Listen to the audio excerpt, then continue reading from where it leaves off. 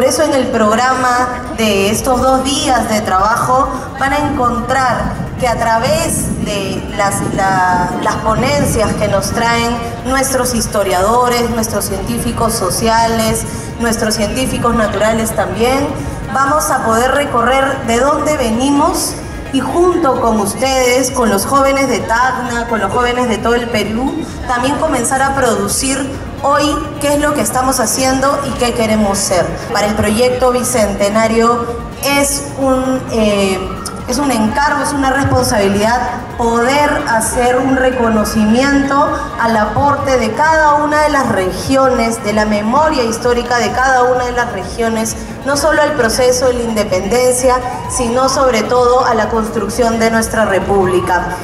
El gobierno del presidente Martín Vizcarra, quien ha estado esta mañana también en Tacna inaugurando un colegio, está comprometido con la recuperación de nuestros valores ciudadanos, la integridad de la República y la promoción del desarrollo en forma descentralizada.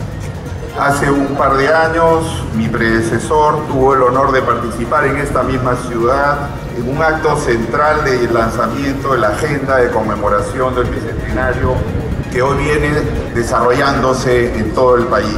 Estoy seguro de que en el Bicentenario, cuando celebramos ya realmente el Bicentenario, estaremos iniciando un camino de éxito hacia un primer mundo, porque tenemos los recursos, los recursos humanos, recursos naturales, tenemos todo para ser lo que debemos ser.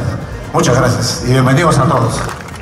Así es que trabajemos, renovemos nuestro compromiso de un país unido, un país democrático, un país de ciudadanos y de ciudadanas y que estos espacios nos permitan consolidar esa idea de patria, de república que tanta falta nos hace.